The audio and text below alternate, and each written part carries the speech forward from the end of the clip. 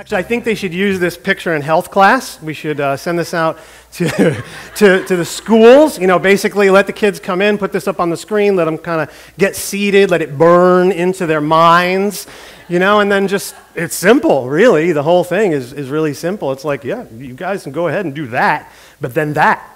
That's it. You know what I mean? Well, can we kiss? Can we touch? Can we hug? Yes, you can touch one another, but then that leads to that, and that leads to that. You know what I mean? Like, why would you want to do that? You know, like, so I don't know. Well, you know, I, I wanted to uh, put the price of that thing. I thought it would sell for like 50 bucks, but I think it went for $8. Is that what it went for? Eight, eight dollars, you know. But then I realized it is a ministry. We're trying to meet people's needs. Apparently, someone needed to get dressed up as a pink flamingo. I'm going to stop now because there's a few other jokes and if you thought it, that's on you, not me.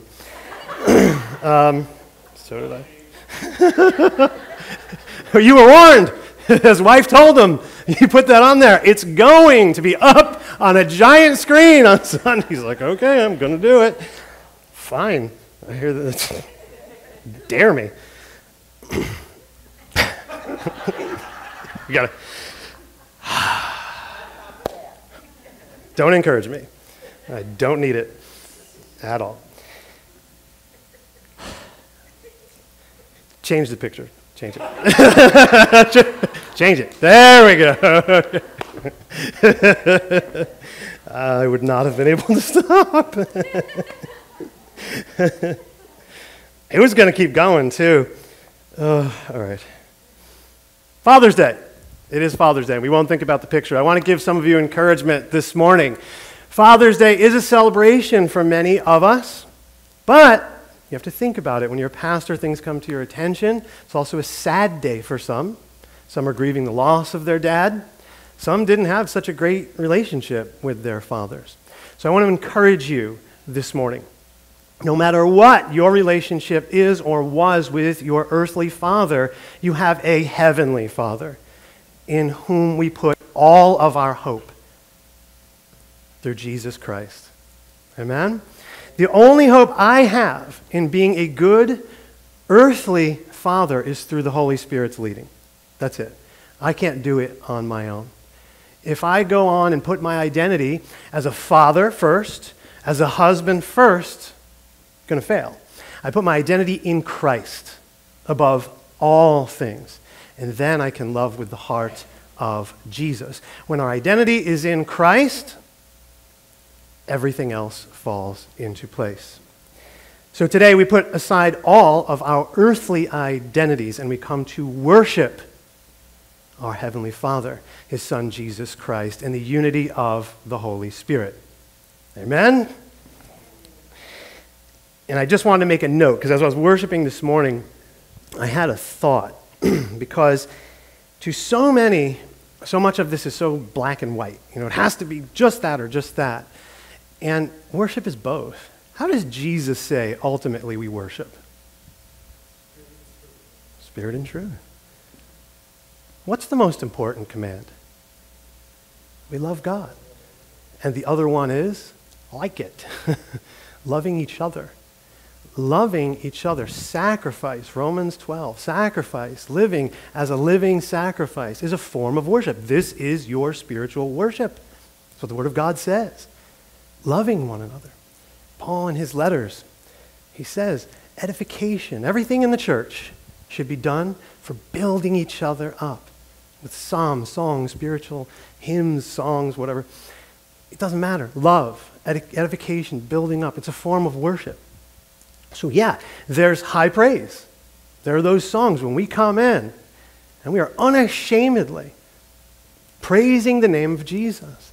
But Jesus says, love one another. Matthew 7 12. This is the law and the prophets. That's a powerful statement. Treating others the way you want to be treated is the law and the prophets. Look it up. Love, love, love, love. So as we were worshiping this morning, I felt built up. I felt loved. You know? Like, it's not about the worship singers. It's not about me. I'm just a tool. I'm just a mouthpiece this morning. I'm just repeating what I already read in the Bible. trying to let the Holy Spirit guide me a little bit, try to be a little flexible in the service. And so this morning, I felt built up. You know, we have some really good singers, and sometimes that can be a bad thing in certain environments because, you know, we're, we're paying too much attention to the singers. But I felt this morning during worship truths being sung to us. I felt our people being built up and edified. So it was really a beautiful thing this morning. And I think we can applaud that. I think we can say that's good. That's good, okay? So an encouragement to you this morning, don't, don't, don't be afraid to let them build you up, to let people share an encouraging word. It's all a part of the worship. All right? So it's not just like, okay, we are worshiping now while we sing and talk about Jesus, and then we are not worshiping. No, no, no, no, no. It, it's all worship. when we love one another, from the minute you come in the door, it's worship. You're loving one another. Hi, good morning. I love you. Good to see you. There you go. That's it. You don't have to stop when you leave the church. You can love your neighbors. Continue to worship, right? Continue to glorify God in all the things that you do. So, we are a Bible believing church. That is the reference for everything we do. Christ is the head. We are the body. Holy Spirit does the leading. God does the talking. If you want to know more about what that looks like, how we do things, I'm going to encourage you to come to Growth Track today. You've probably heard about it. If you're new, maybe you haven't. We're going to be doing it twice a month, and that sounds a little crazy because, yes, it gets a little slow here during the summer. But even if it's just one person, I don't care. I don't want people to be waiting a whole month just to get information or ask me questions. So, Growth Track is where you can ask me questions. It's also where I try to pre answer all of the questions you might have about the church. Also, let you know where you can get plugged in, how you can get plugged in as the body of Christ here. So, we have potluck today. We'll feed you. You can go upstairs. 15, 20 minutes later, we'll come down here. Growth track is like 20 minutes. I try to keep it really short. All right, nothing like my sermon. Um, also, on the app, you can use that. If you can't stay, whatever, it's, it's Father's Day, so maybe you have lunch. If you can't stay, you can go through the app, and if you swipe, no instructions, but I did just tell you, you'll find an About Us section. And some of those questions are answered in there. We want you to be well informed. Also, you can catch up on sermons if you missed church. I hope you're watching the sermons. If you're new, maybe you saw them online and you came in. That's crazy. Um, but you can watch the sermons right through the app there. And we've had some interesting weeks. We've been talking about a lot of tough topics. Last week, Dr. Dane, he talked about sex, inside and outside the marriage covenant. Okay, so what is it for? Well, one flesh, consummate the marriage, that's okay. Procreate, have children for pleasure too. He made us really uncomfortable with Song of Solomon or Song of Songs. he taught us how to make babies from biblical scripture. That was weird. And I'll never look at a cluster of grapes the same way ever again. So that's ruined completely. but Carolee and David did a great job at being transparent. You want to know what real church, real people looks like? That. That's what it looks like. It looks like two young people sharing their hearts. Hey, look, we didn't always do it right. We don't always get it right. I don't always get it right. But look, church, help me out. Right? Like Heather said, help, the four letter word. So they did.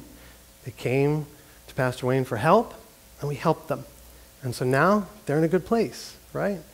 So, not always going to be perfect, and I encourage, especially the younger couples and stuff, we're here for you. No, it's, it's, it's not always going to be sunshine and rainbows. It's not this morning. Uh, maybe we'll get a rainbow later. Uh, but life is tough. We want to be real about that, but we want to get you in godly alignment where we can, right? The week before that, money. Talked about money. I just basically said, let's just do all the tough topics straight in a row and get it over with, you know? So we talked about money, but in the context of living generously. Right? No, you don't have to tithe. There's nowhere in the Bible that says, modern day, New Testament Christians in a modern church context, that you have to tithe. Oh, but 10% is a pretty good idea. It's like taking a Sabbath, right? It's a good idea. Take a day off. Honor God, honor your family. So, giving 10%, setting that as a baseline, is a good old idea. I told you, even showed you some examples about how, even in the secular world, it's a good idea. It also helps to nourish the body of Christ. We have a lot of things that we want to do for our community right around us and abroad. We've got plans.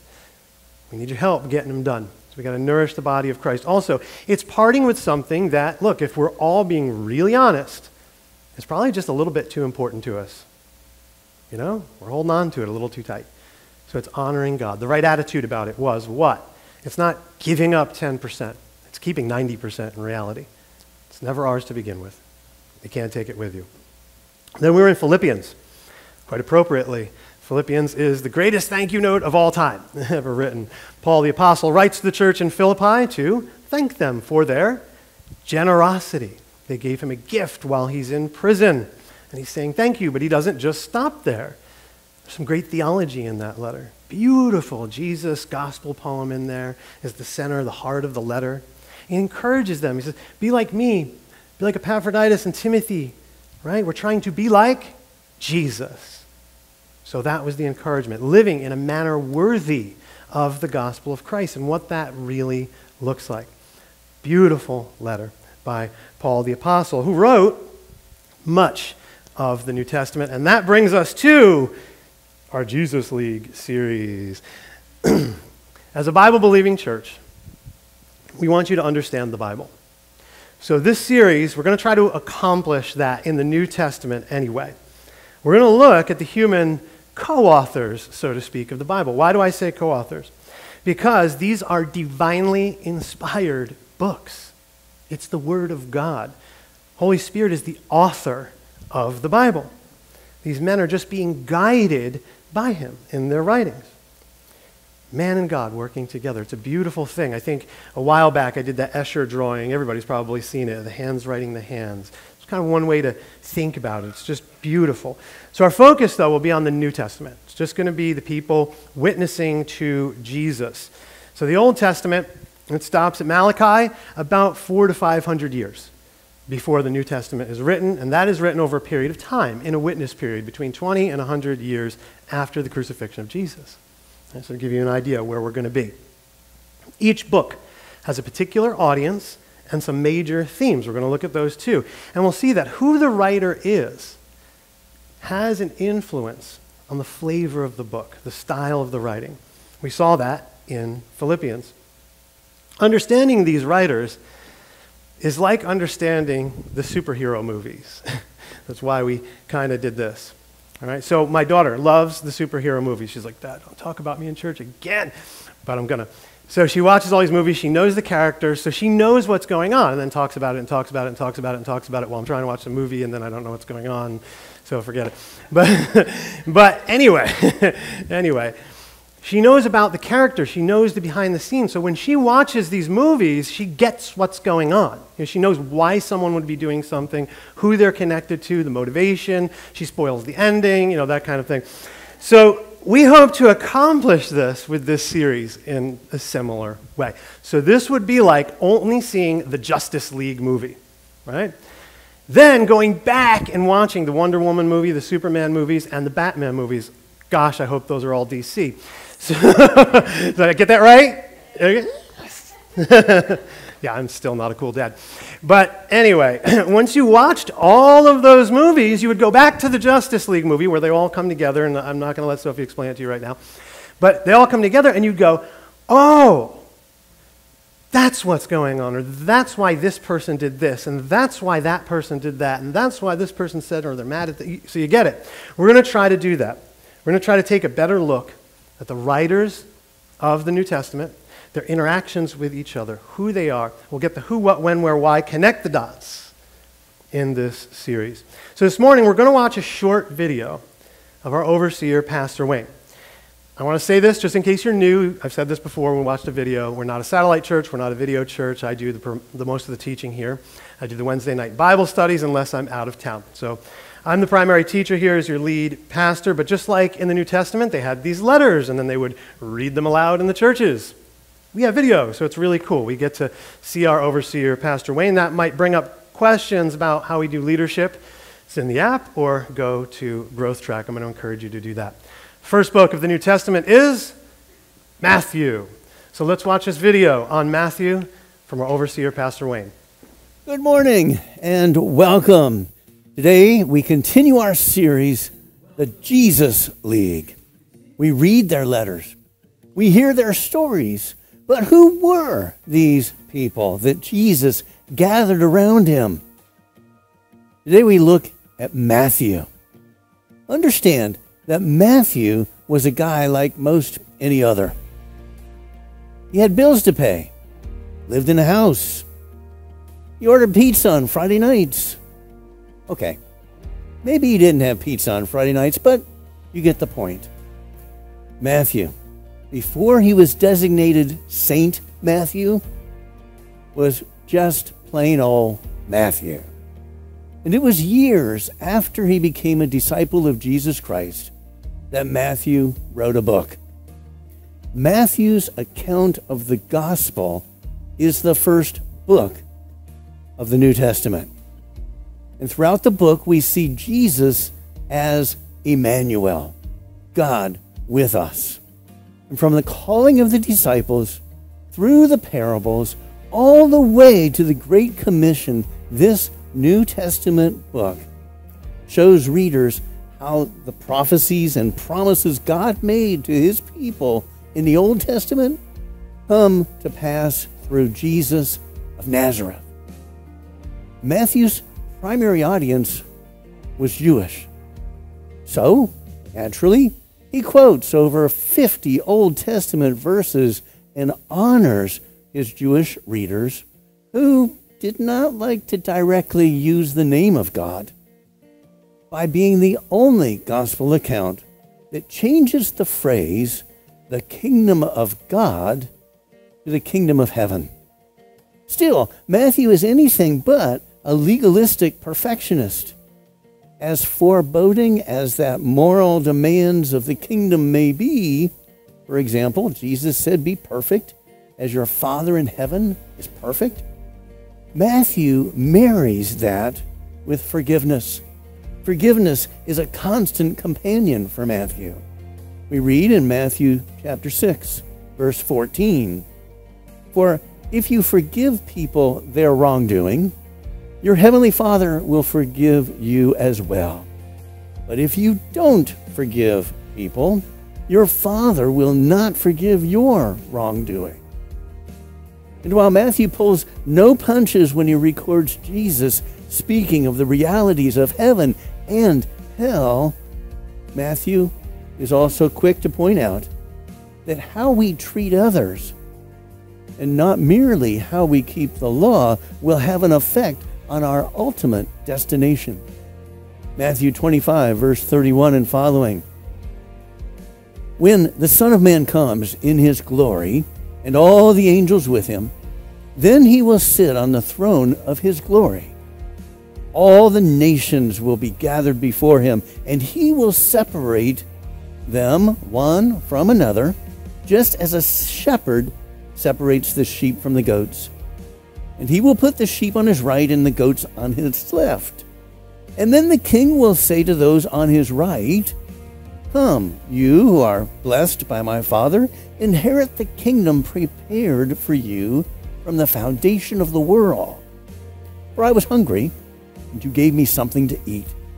I was thirsty, and you gave me something to drink. I was a stranger, and you took me in. I was naked, and you clothed me. I was sick, and you took care of me. I was in prison, and you visited me. Then the righteous will answer him, Lord, when did we see you hungry and feed you, or thirsty and give you something to drink? When did we see you a stranger and take you in, or without clothes and clothe you? When did we see you sick or in prison and visit you?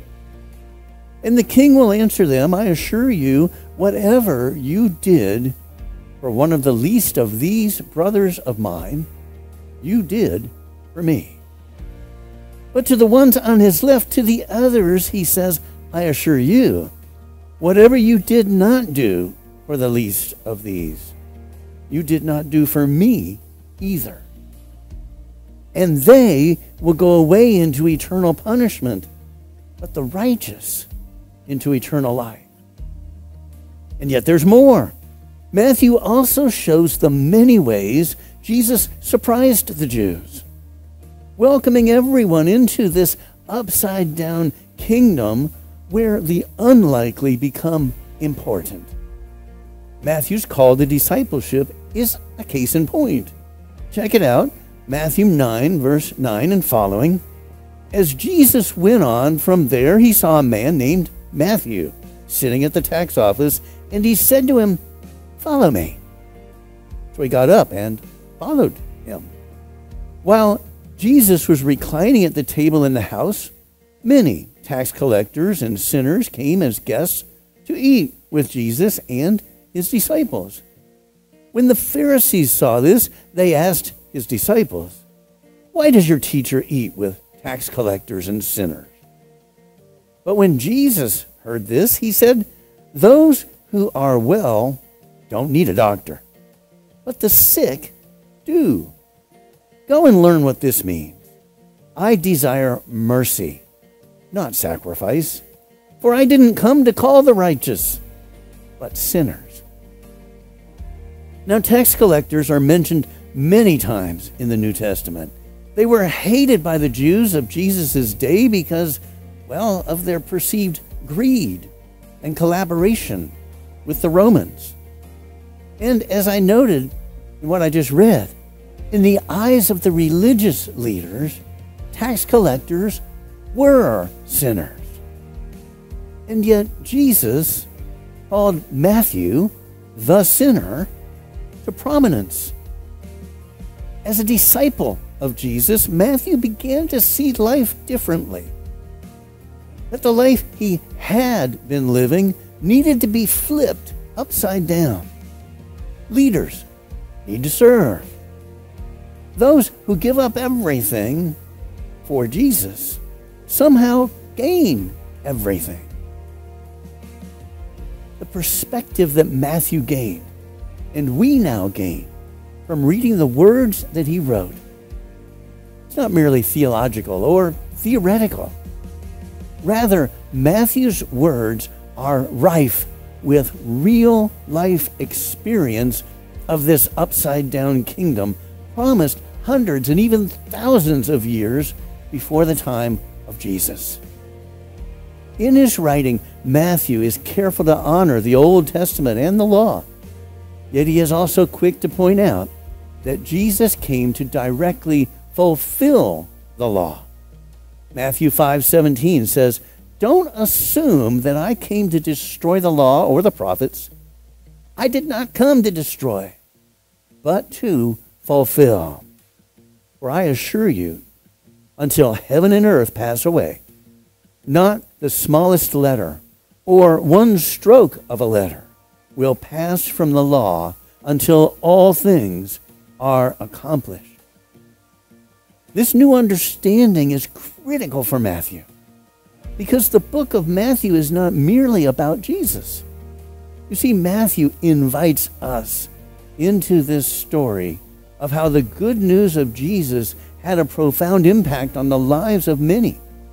People who were irreligious, people who were marginalized, people who were unimportant and castaways through faith in Jesus were transformed.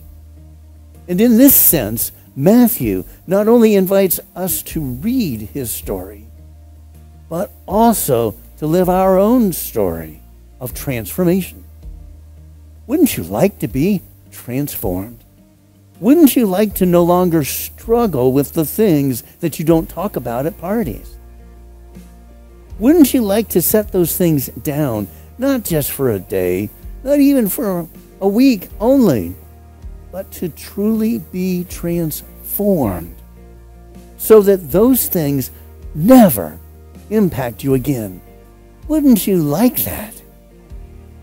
2 Corinthians chapter 5 verse 17 says if anyone is in Christ he is a new creation old things have passed away and look new things have come the transformation you see is more radical than we might first imagine we look at caterpillars turning into butterflies and tadpoles turning into frogs and call it transformation. But this is only a shadow of what real transformation is. The caterpillar changes on the outside, but it's still has the same DNA.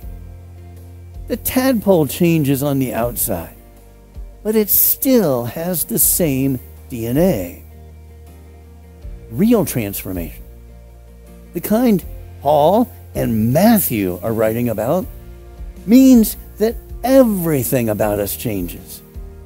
How we live our lives, what we think is important, our goals, our hopes, our fears, they all are transformed. Matthew's words reach beyond the page and out to your heart today.